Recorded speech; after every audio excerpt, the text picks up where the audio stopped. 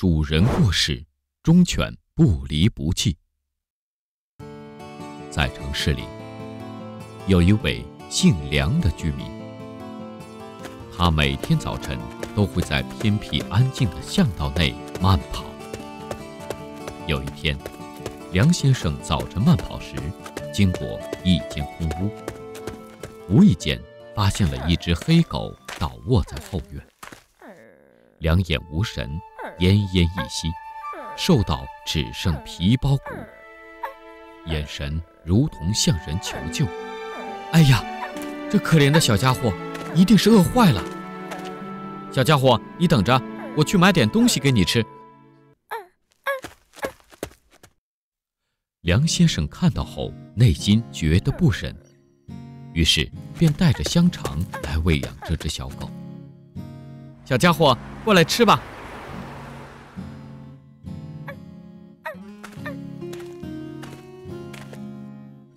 你慢慢吃，不要噎着了。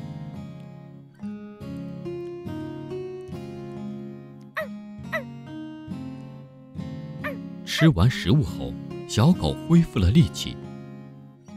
它快速地跑到院子里一台机车旁，蹲下守候，似乎是在等待机车主人来带它回家。看来这里就是它的家。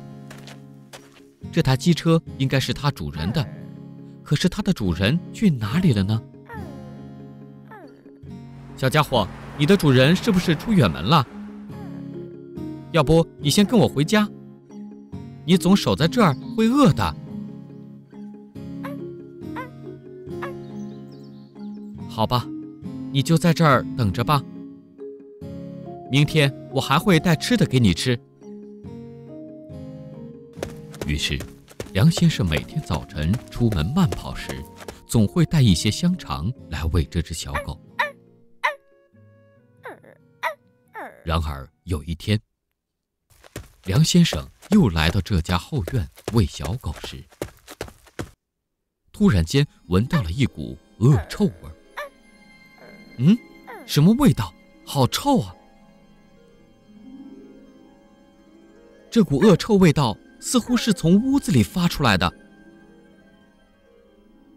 当梁先生确认那股恶臭味是从屋子里发出来时，他直觉有异状。这屋子里究竟有什么？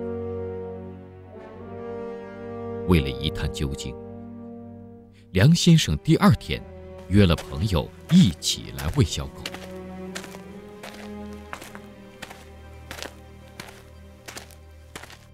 哎呀，怎么这么臭啊！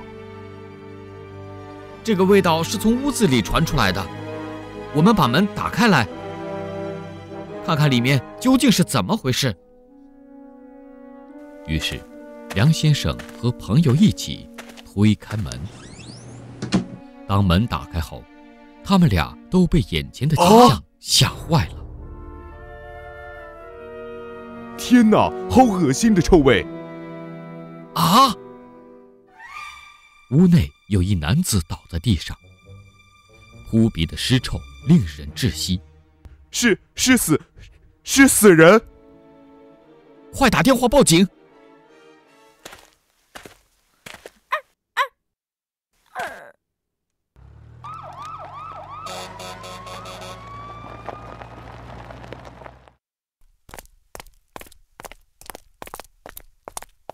警察先生，这屋主过世了。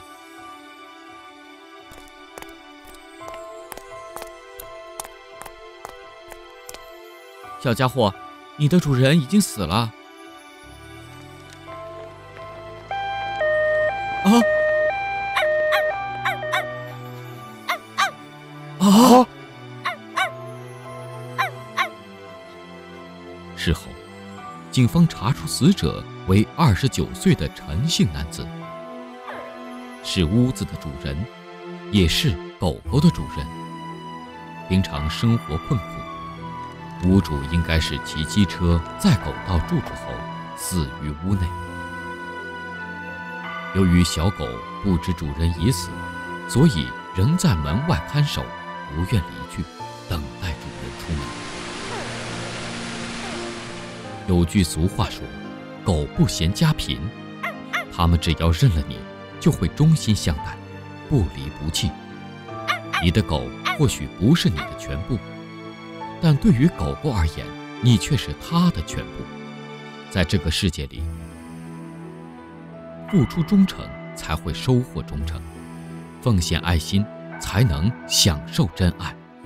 无论是家人、朋友，甚至是一个陌生人，皆是如此。